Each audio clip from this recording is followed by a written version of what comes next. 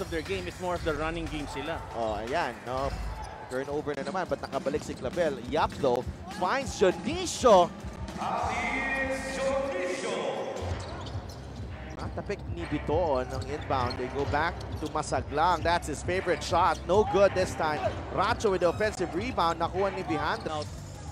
Skills, I mean, inabot lang ni Jonicio. Jonicio is open. Lumapit. Pagpalang inabot kay Jonicio. Axe. Cruz loses the ball. Masaglang. Nice pass to Orbeta. Block by Jonicio. I mean, both teams playing great. Instant replay of the game brought to you by Casino Active.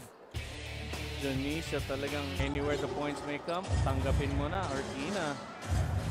Chris Masaglang getting to his spot but he couldn't make the basket. Punta sila kay Aris Jonicio ang Manila. Goloran to Clavel. They go to Timon.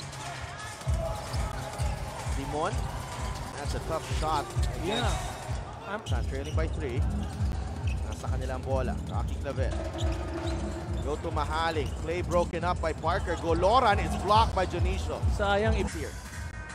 Biton. Pakita si Goloran. Morada staying in step. Biton. The kick out. Natapik. Napunta kay Jonicio. Knocks that one down. At, at- masakit eh, ito makikita natin. After that great defensive effort in the last two seconds,